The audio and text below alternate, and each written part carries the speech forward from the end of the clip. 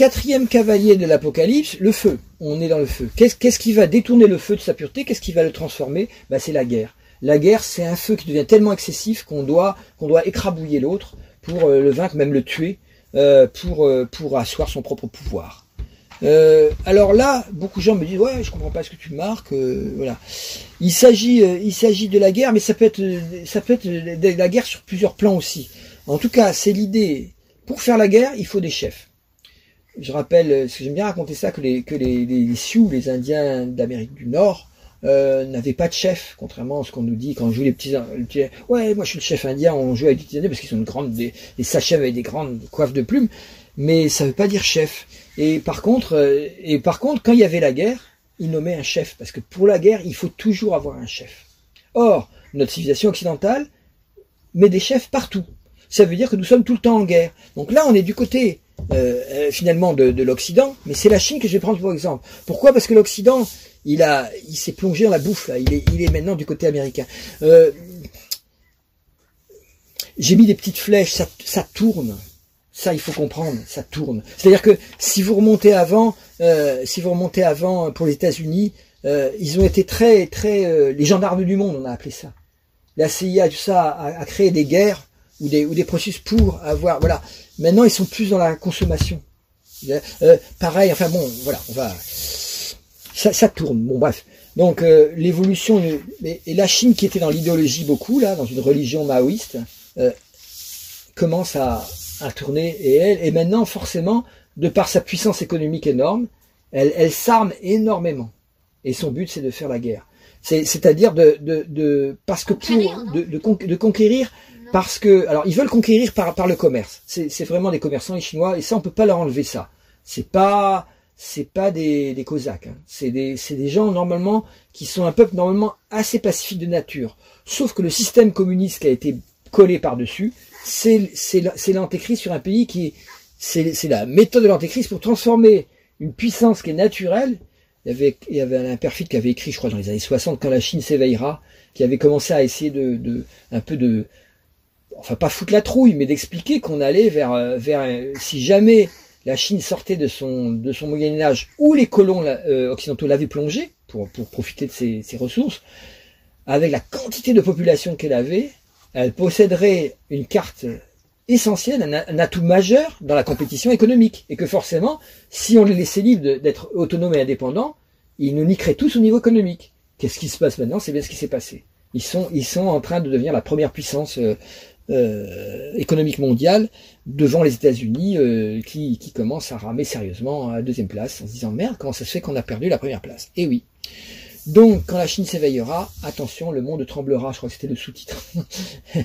Donc pourquoi? Parce que euh, elle s'est éveillée à partir d'une rancœur. Méfiez-vous des peuples qui ont une rancœur. Parce que tout peuple qui a une rancœur et qui a été une grande civilisation qu'on a écrasé pour en extirper le jus, presser les citrons, qu'à de dire les citrons jaunes, et eh bien le, le, le, le, fait qu'on les ait pressés comme ça, oppressés, euh, ils s'en rappellent. Alors ils se sont pas privés eux-mêmes avec le maoïsme et tout ça de, de, s'oppresser à fond aussi.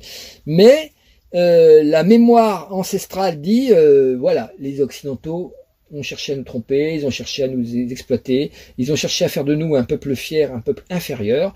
On va prouver maintenant qu'on n'a jamais été un peuple inférieur, même si on a perdu du temps euh, à cause de cette colonisation.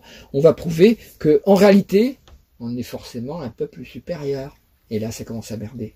Donc là, il y a l'idée de on va vous dominer. Et, on va bien voir qui c'est qui aura raison à la fin. Évidemment, avec ce genre de truc, on va créer des chefs, des chefs qui vont être d'autant plus désirés qui contiennent cette rancœur, ce ressentiment, qui, peut euh, générer euh, euh, la guerre, en tout cas l'esprit de domination absolue. Alors, il y en a qui disent, bon, ça se voit pas beaucoup.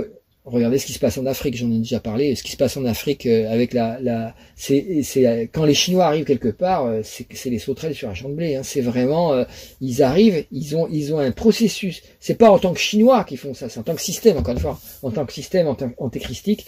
Ils sont, ils font une guerre volontaire à ce qui existe sur place, reprenant les bonnes vieilles techniques colonialistes que les Français ont utilisées en Algérie, que les, que tous les autres pays ont utilisées en Afrique. Ils disent ah nous on n'a jamais été en Afrique, on va faire pareil. Et ils reprennent au pied de la lettre ces techniques qui sont une espèce d'exploitation totale du lieu. Ils, ils, ils, obligent les gens, ils obligent pour leur bien-être, les gens à devenir des, des, agriculteurs à grande échelle, à produire quelque chose à grande échelle. On va vous l'acheter, mais ce faisant, c'est la même technique. Ils utilisent la technique capitaliste et ils, ils épuisent en fait euh, et la terre et les gens euh, pour, euh, pour en leur laissant pour qu'ils se nourrissent eux-mêmes une 10% et 90% qui part en Chine. Pourquoi? Parce qu'en Chine, les terres sont polluées par les usines euh, qui nous font nos portables et tout ça, tous nos appareils.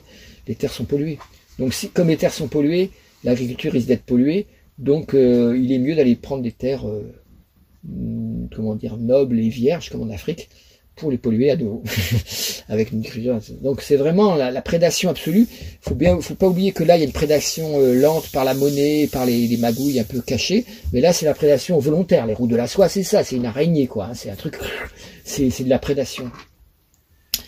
Donc euh, bah oui parce qu'il faut bien nourrir. Euh, je sais plus combien ils sont plus, ils sont 2 milliards, je sais plus combien. hein? 2 milliards 3. 1 milliard. 1 milliard 3, ils sont pas rendus à 2 milliards encore? Oh bah non, c'est moi qui exagère. Ouais, ils sont, voilà, c'est énorme. Par rapport à toute la population mondiale, c'est énorme. Donc euh, là, regardez bien maintenant. Euh, euh, alors, le, j'ai mis des mots clés en dessous, je, quand je me rappelle plus. Donc sectarisme, intégrisme ici. Là, ça va être totalitarisme et collectivisme. On voit très bien que la, la loi du chef, c'est la loi de la collectivité mise sous la volonté d'un seul. Donc, Big Brother is watching you. En gros, c'est un peu le le processus. Euh, euh, si vous voulez, vous avez, vous avez 84 de Orwell, c'est un peu le, petit livre rouge de, plutôt de Poutine peut-être. On, pourrait voir que le, petit livre rouge des, Chinois, c'est ces Amiati, nous autres, qui était l'inspiration, qui est un, russe, qui était l'inspiration de. Alors ils vont vous dire que c'est Mao, mais, en réalité, c'est l'idée d'un bonheur pour tous euh, qui soit imposé par le contrôle absolu. C'est-à-dire, voilà, on enlève la liberté et voilà. Donc liberté, c'est le feu. Liberté, égalité, pour ceux qui ont suivi mes cours, bon, je le rappelle rapidement, liberté, égalité, l'air, fraternité, l'eau, sobriété, la terre. Donc euh, on devrait avoir quatre, quatre, euh, quatre éléments dans la devise française, il nous en manque celui-là. C'est dommage parce que on risque de, de, de, de, détruire la terre si on n'a pas le quatrième élément qui est la sobriété, la sobriété heureuse, c'est-à-dire le, fait de, de, de vivre. Bon, je me rappelle, moi, je suis vieux hein, maintenant. euh, le, je, je me rappelle euh, comment on vivait quand on avait 20 ans. On a une société moderne, il y avait pas mal de trucs qu'on faisait, on était à l'aise, il n'y avait pas de problème de famille, rien du tout, on vivait bien. Et, euh, et, si on revenait à ce mode de vie maintenant, avec des voitures moins puissantes, avec des moins de consommation d'énergie, tout ça, euh, ça rend pas malheureux. Hein. Maintenant, il revient avec des, gens comme Djokovic, l'idée le nucléaire ou la bougie. Putain, ça, stop, arrêtez. C'est pas, c'est pas, c'est une caricature, quoi. C'est complètement faux. On peut revenir à un état antérieur de l'humanité pour réagencer les, les, paradigmes de production et de consommation d'énergie, et, et, et, on consommerait environ 3, 4, en, dans les années 70, on consommait 4, 2, 3, je sais plus, c'est énorme la quantité d'énergie qu'on consommait en moins. Euh, on vivait très bien, je regrette. Donc euh, c'est pas, c'est une erreur fondamentale. Non, c'est le processus de croissance du capitalisme qui exige qu'on ait plus d'énergie pour consommer toujours Donc si on change pas de paradigme, évidemment, il faut du nucléaire partout. Donc, on va, on va tous se faire crever pour garder le même système, alors qu'on sait qu'il fait crever le monde. Très bien, super. Donc, de toute façon, euh, pour avant de fermer la parenthèse, vous allez voir sur internet le scénario Negawatt euh, c'est pas un scénario antinucléaire total. On sait très bien que les centrales, vu qu'elles produisent, qu'elles sont installées maintenant, il va falloir les, démanteler. Il faut qu'on continue à produire évidemment et qu'on les arrête petit à petit. Donc c'est un truc intelligent qu'il faut faire. Mais relancer un programme nucléaire, c'est une absurdité très dangereuse. Et là, euh, bah, ça c'est le feu aussi, hein, le feu nucléaire. Donc euh, cette, le danger de cette manière d'agir avec un pouvoir absolu. Il y a deux pouvoirs absolus destructeurs, c'est le néolibéralisme en dessous et le totalitarisme, et ils sont du même côté. Donc là, quand on voit le mandala, on voit très bien qu'il y a une zone qu'il faut qu'il faut passer là, qui est d'ailleurs il y a le Japon qui est marqué dessus. Je mets pas tous les pays parce qu'il y en a un qui manque. Souvent quand j'avais fini cette, cette truc, j'ai demandé aux gens, vous avez pas remarqué qu'il y a un pays très important qui manque Et on va, on va en parler après. Donc euh, on voit très bien que ils sont du même côté. Donc la légende qui fait que le libéralisme est apparu euh, en tant que politique en France et aux États-Unis en même moment, avec les droits de l'homme, des systèmes qui sont apparus à peu près au moment où Uranus est arrivé, 1781, découverte d'Uranus, 1776, donc euh, euh, déclaration d'indépendance des États-Unis, 1789, Révolution française, 1791, 92, 91, 92, je me rappelle plus, euh, création de la République française, enfin, bon bref, c'est 91, 92, ouais. Ouais, automne 92 exactement. Euh, des pays qui sont construits par des ésotéristes d'ailleurs parce qu'ils ont tous un, thème astral. Euh, la, France est née artificiellement au moment même de l'équinoxe d'automne choisi par les astrologues évidemment. Donc il y a deux pays qui sont construits par les astrologues, c'est les États-Unis et la France. Enfin, la République française et les, États-Unis d'Amérique. C'est pas la France. Hein. La France est beaucoup plus ancienne que ça.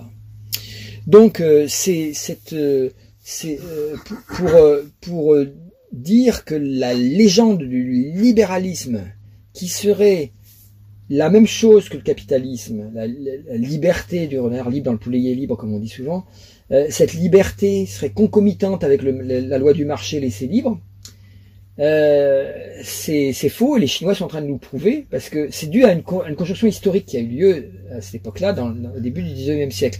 Mais si cette conjonction l'a défait, il n'y a pas du tout de correspondance entre les deux. Et les Chinois sont en train de nous le prouver. On peut très bien avoir un totalitarisme qui applique les lois du néolibéralisme. Et à ce moment-là, on est du côté, on est du côté absolu du pouvoir euh, d'un seul sur tous, Big Brother. Et c'est tout à fait possible. Euh, l'idée en tête qu'il y aurait forcément que le, capitalisme est le meilleur système au monde parce qu'il n'y a pas d'autre, c'est une idée qu'on nous a imposée parce que le capitalisme, bien que favorisant, euh, enfin là où il est apparu, euh, favorisant la démocratie parlementaire là où il est apparu, dû à l'histoire de, des conjonctions Uranus-Neptune en particulier, euh, cette, euh, cette règle-là qui est due à un hasard de l'histoire, c'est en train de se de partir en, couille. C'est-à-dire que d'un côté, le capitalisme devient de plus en plus totalitaire lui-même, et en train de d'appliquer des lois qui sont celles de, la surveillance maximum, du totalitarisme, de, du Big Brother et tout ça. Donc comment s'appelle le, bouquin de Zamiati Oui, Nous autres, il s'appelle Nous autres. C'est un, vieux bouquin qui date, euh, qui est, l'ancêtre des deux bouquins de science-fiction les plus puissants au niveau du XXe siècle j'avais déjà cité. Euh, donc le meilleur des mondes d'Huxley, qui correspond au monde justement plus néolibéral, où chacun fait, peut acheter ce qu'il veut pour avoir s'injecter du soma ou avaler des trucs qui vont le rendre en extase ou assez cool. Et puis euh, et puis l'autre côté, le, 84 qui correspond beaucoup plus au côté totalitaire, plus stalinien ou voilà mais, mais les deux peuvent se rejoindre. Et euh, il y a un troisième bouquin qui correspond bien à ce qui s'est passé ici avec l'antéchrist euh, médical. C'est, euh, je le cite souvent, c'est Ira Levin, Un bonheur insoutenable. Où il y a un petit, une petite injection très très discrète qui est faite. Ça, ça peut faire aucun mal, vous inquiétez pas. Vous allez trouver ça aussi dans Bienvenue à Gataka, le film qu'il faut absolument voir, où en fait il, y a il, y a un tri des personnes selon leur niveau génétique. Donc la science peut être au service de tout ça. Et c'est 666 dangereux. Ici, donc ici, je lui ai demandé exprès, celui qui a fait le montage, de pas mettre 666 au milieu, de mettre la terre, parce que même si le mal est très puissant, il faut se rappeler qu'on est quand même sur terre, on n'est pas, on n'habite pas le royaume du mal.